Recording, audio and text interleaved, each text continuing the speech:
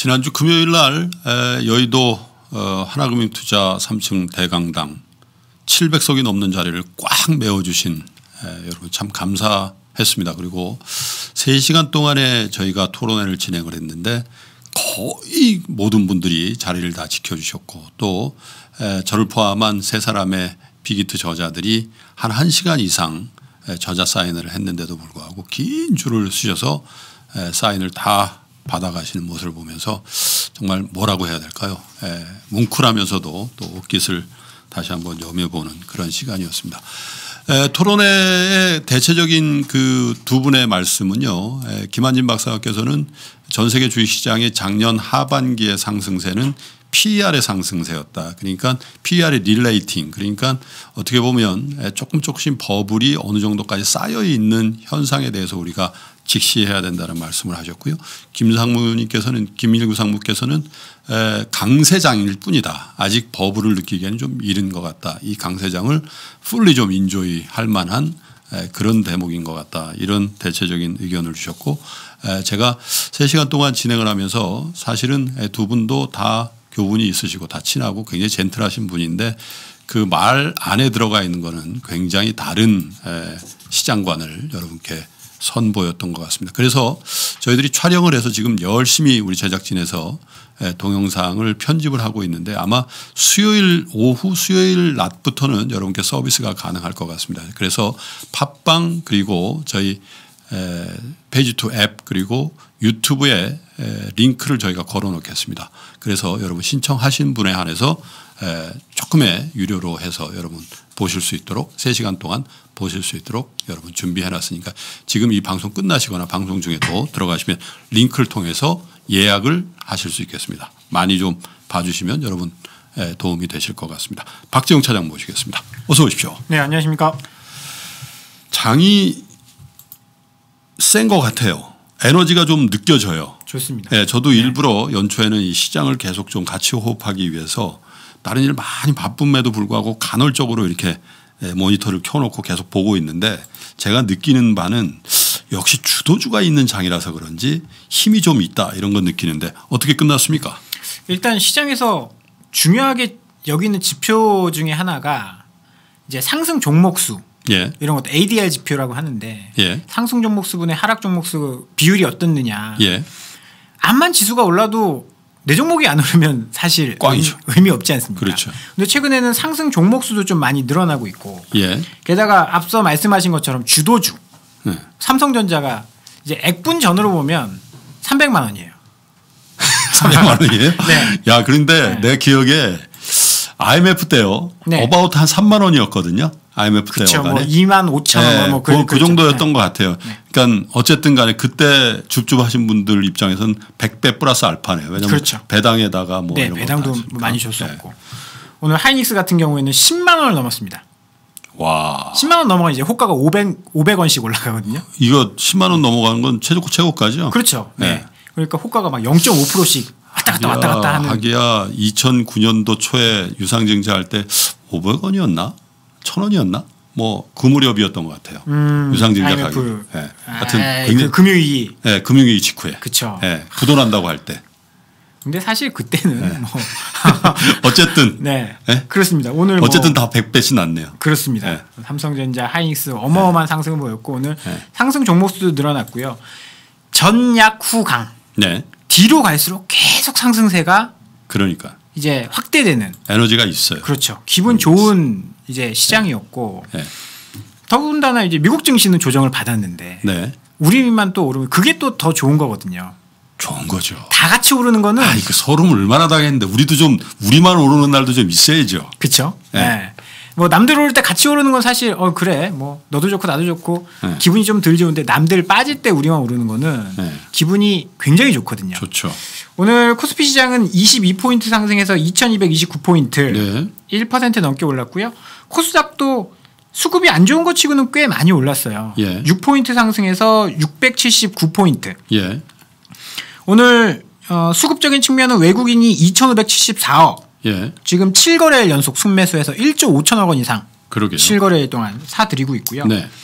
반면에 기관은 계속 팔고 있습니다. 2,100억 원 순매도 했는데 뭐 이거야 연말에 꽤 많이 팔아 연말에 꽤 많이 샀거든요. 아 근데 지난주 목요일 날 옵션 만기를 기점으로 금융투자 매도도 그냥 대충 마무리되는 거 아니야 그랬는데 여전히 파네요. 계속 팔고 있습니다. 네. 금요일 목요일 이후로 금요일 날 더 많이 팔았고요. 금융투자는 예. 오늘도 역시 팔고 있습니다. 뭐 그러니까. 수밖에 없는 게 사실 외국인이 사면 기관은 팔게 돼 있는 누군가는 팔아야 돼 있고 팔게 되어 있거든요. 하게요. 개인이 개인 물량 털린다 그러겠지 또 개인 개인만 팔면 그렇죠. 네. 네. 어찌 됐든 간에 기관이 많이 사는 거를 좀 되돌림 현상이 나온다라고 봐야 될 것 같고요. 예. 코스닥은 좀 수급이 안 좋습니다. 예. 외국인이 또 250억 팔았고요. 기관이 네. 700억 팔았습니다. 예. 그래서 최근 뭐 올해 들어서 외국인과 기관이 굉장히 많이 팔고 있고 개인들만 순매수하고 있는데 이건 뭐 어떻게 보면 연말에 약간 네. 예정되어 있었던 이벤트처럼 음. 금융소득 종합과세 그다음에 대주주 요거 어 피한다고 주식을 많이 팔아놨거든요. 개인들이 그렇죠. 그걸 다시 사는 거다라고 볼 수 있을 것 같고요. 오늘 시장이 좀 안정되면서 원달러 환율은 5원 30전 하락한 1,156원에 거래를 마쳤고요. 그러니까 이 환율도 세네요. 그렇죠. 외국인 뭐 사 들어오고 있고 워낙 강세고 예. 여러모로 주변 여건이 좋아지고 있다라고 음. 봐야 될 것 같고요. 어, 뭐 오늘 말씀드리면 유동성 시장이었습니다. 유동성 랠리. 11월부터 해서 외국인이 굉장히 많이 팔아 어, 그렇죠. 주식을 많이 팔았는데 12월에는 순 매수였더라고요. 오늘 아침에 보니까 8천억 인가 순 매수던데 맞습니다. 12월 월간으로는 5개월 만에 외국인이 순 매수로 전환이 네. 됐습니다. 7거래일 동안 외국인이 1조 5천억을 샀는데 뭘 예. 샀나 주로 보면요. 삼성전자를 7,400억 샀고요. 어. 그러니까 그냥 쓸어 담았습니다. 예. 11월에 팔았던 거 그대로 지금 사들여 가고 있는 모습이고요. 예. 그 다음으로는 삼성전기를 1,194억. 예. NC소프트가 963억. 예. 카카오가 840억. 그러니까 그럼 하이닉스는 안 샀다는 얘기네요. 어... 이 안에 안 들어가 있네요. 하이닉스는 순위 안에 없어요? 네, 순위 안에 없습니다. 어, 하이닉스는 기관이 굉장히 많이 샀고요. 네. 그렇다고 해서 외국인이 판 건 아닙니다. 음. 기관 순위를 보면 어, 하이닉스는 기관이 584억. 네. 그러니까 뭐 하이닉스는 샀다 팔았다 좀 하고 있는 그런 모습이고요. 네.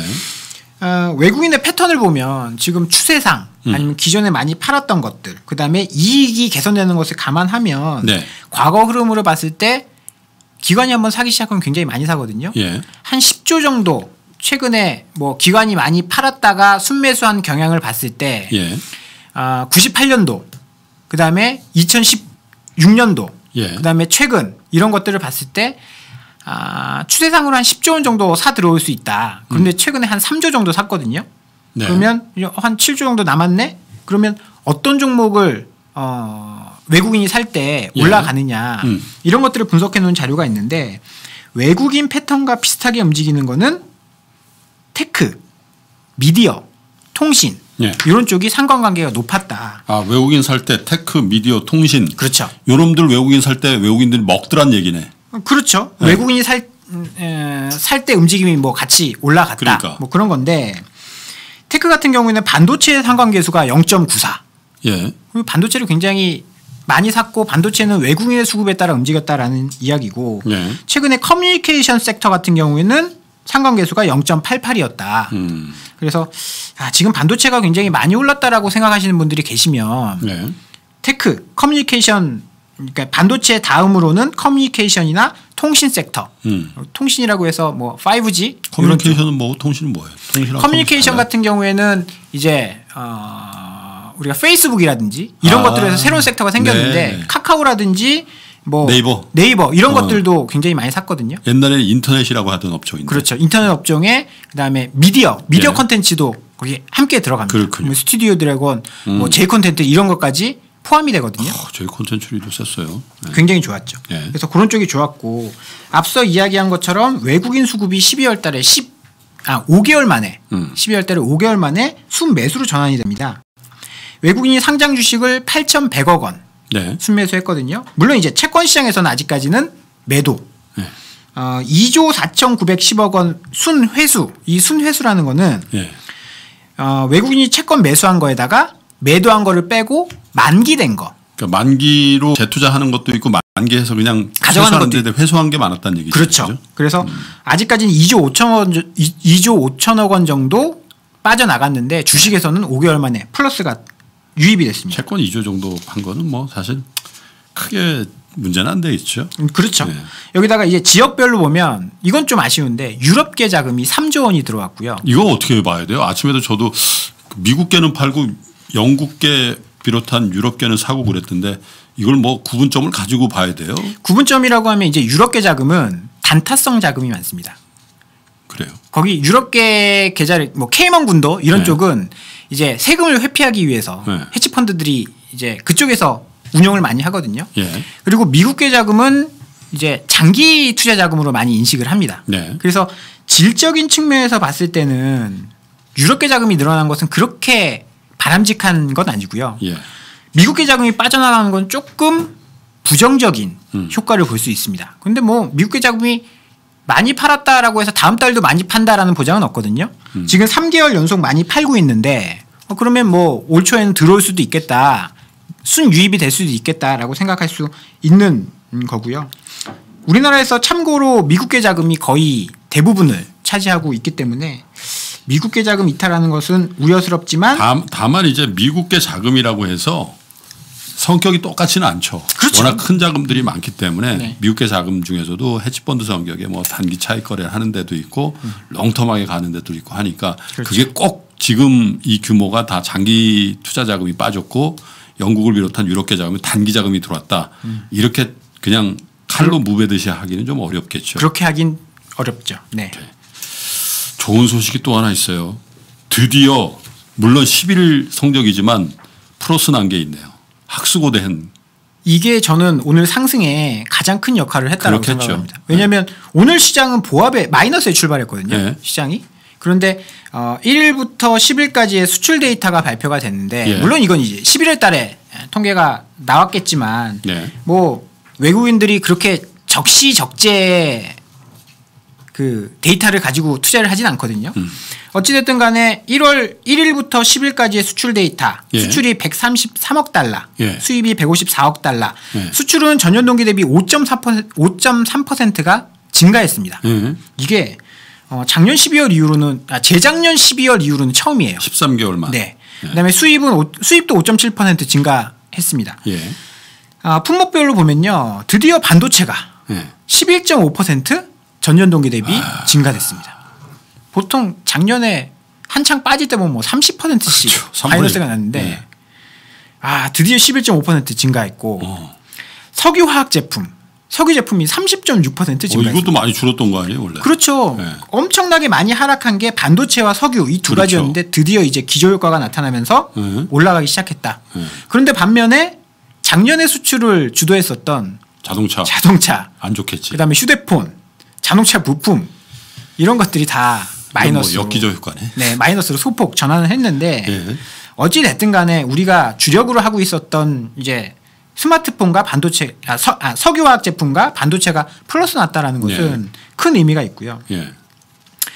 국가별로 보면 베트남, 일본이 소폭 증가했고 홍콩이 26% 증가했어요. 왜 그래요? 홍콩 뭐 정정도 불안하고 그랬는데. 지금 홍콩은 중국의 다리 역할을 하거든요. 그렇죠. 홍콩이 그냥 홍콩이 아니라 홍콩을 통해서 중국으로 들어가는 겁니다. 네. 그래서 어, 중국의 수출은 3.5% 감소했는데 네. 홍콩과 합쳐보면 어, 중국도 드디어 플러스가 나고 있다라고. 해석을 해볼 수 있을 것 예. 같고요. 예. 미국이 많이 줄었네요. 미국이 좀 많이 줄었습니다. 왜 11%나 줄었죠? 요건 한번 물론 11 성적이니까 우리가 그렇죠. 이렇게까지 브렉다운을 하지 맙시다. 왜냐하면 전 세계에서요. 제가 그 이 통계 발표하는 데하고 통화를 한 번 한 적이 있었거든요. 네. 이거 좀 하지 말자고. 음. 그냥 전 세계에서 월별 수출 데이터 정도 내는 게 상례인데 음. 우리는 한 달에 세 번 옛날에 아마 수출 입국 막 그것 때문에 아마 공무원들 빨리빨리 보고하라고 위해서 그래가지고 이거 한 모양인데 사실 이게 워낙에 이게 수출 데이터가 우리나라 금융시장에도 중요하다 중요하니까 보니까 네. 우리가 10일 단위로 끊어서 이 속보도 내고 하는데 용납하죠 뭐. 뭐 중국 소비 관련주가 네. 또 급등했어요? 네 오늘 중국 관련된 주들이 네. 뭐 LG 생활건강, 아모레퍼시픽, 그다음에 컨텐츠 관련된 뭐 스튜디오 드래곤, 네. 그다음에 어 엔터테인먼트 뭐뭐 뭐 SM 뭐 JYP 엔터 이런 것들이 다 급등했습니다. 그래요? 이유는 얼마 전에 이제 이융탕이라는 중국의 그, 그 건강 보조식품 예. 만드는 회사의 직원이 임직원이 단체 관광 5천 명 왔다라는 소식을 전해드렸는데 예. 그때도 이제 어 중국 관련 소비주들이 급등했는데 예. 이번에는 중국 수학여행 단체 수학여행을 온다 3,500명이 온다라는 소식이 전해지면서 오늘 장 초반부터 급등을 했습니다. 예. 이게 한 학교에서 3,500명이 오는 건 아니고요. 네. 뭐 일곱 개 그러니까 일곱 개의 단체에 걸쳐서 음. 7일에 걸쳐서 이렇게 오는 거거든요. 2월 초까지 어, 한국관광공사 상하이 지사가 화둥 지역 등 중국 각지에서 모객을 해서 이번 달 10일부터 2월 초까지 예. 초등학교, 중학교 단, 단체 수학여행을 한국으로 온답니다. 기분 좋긴 한데 네.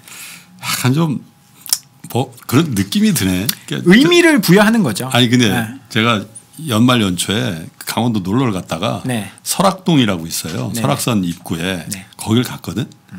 그 모텔이니 뭐 음식점이 거의 다 망했더라고. 그, 그, 요즘에 이제 뭐 강릉이나 속초 이런 쪽에 숙박시 워낙 좋은데 옛날에는 우리 고등학교 때나 대학교 때는 글로 다 숙박을 하거든요. 네. 설악동이란 동네가 상권이 완전히 죽어버렸어요. 음. 그러니까 이제 그런 생각이 드는 거예요. 아, 중국에서 수학여행 3,500명 오는 게 우리 경제에 이렇게 화제가 될 정도로 그러니까 예를 들면 설악동의 주민들이 만약에 서울에서 단체 관광을 한 5천 명 간다 그러면 네. 확살 거 아니에요. 네네네. 그만큼 어려웠다는 얘기잖아요. 그렇죠. 중국 네. 관련해서. 네. 네. 그리고 어, 이런 것들이 조금씩 왜냐하면 지금 수학여행 철이 아니라고 해요. 그렇겠네. 겨울에 수학여행 가지 않지 않습니까? 네. 그런데 이례적으로 이렇게 많이 오는 것 그러면 좀 기대를 해볼 수 있는 것들이 몇 가지가 있어요. 남쪽 사람들은 여기 와서 눈 보는 게 좋으니까 그것도 괜찮을 뭐 그런 것도 있고 곧 시진핑 주석이 이제 방한을 하는데 음. 그냥 오진 않을 것이다. 네. 이런 것도 조금씩 풀어주고 있다. 이제 본격적인 단체 관광은 아직 풀어지지 않은 상황이거든요. 그렇죠. 그렇게 되면 뭐 사실 단체 관광도 풀어주고 어, 파노라든지 이런 것들 그다음에 어, 국내 뭐 연예인들 네. 활동 네. 활동 제한 다 걸려 있는데 그런 것들 풀어준다든지 어, 드라마 판권 수입 이런 것들에 대해서 규제를 풀어준다라고 하면 그쪽 산업이 굉장히 오랫동안 조정을 받았는데 고통을 받았는데 좋아지지 않을까라는 기대감이 오늘 많이 반영이 된 것 같습니다. 기대해 보자고요. 네. 지금 작년 내내 우리 발목을 잡았던 모든 게 오늘 뉴스에서 반전이네요. 반도체 가격 엄청 하락한다고 고, 민이었고 근데 삼성전자가 환산 주가로 300만 원 넘어갔다는 게 네. 굉장히 상징적이고 수출이 13개월 만에 어쨌든 10일 단위로 플러스 전환했다는 거 그리고 한할령이 어느 정도까지는 해빙 무드다. 그거 뭐 미국 중국 어쨌든 회복되고 그러면 더 약해야 될 이유가 뭐지 이런 생각을 하기 때문에 어쨌든 우리 시장이 저희가 이렇게 느끼기에는 작년 10월 11월보다 훨씬 더 강한 에너지를 갖고 있다 이런 느낌을 갖게 하기에 충분한 재료들로 오늘 시장이 장식된 것 같습니다.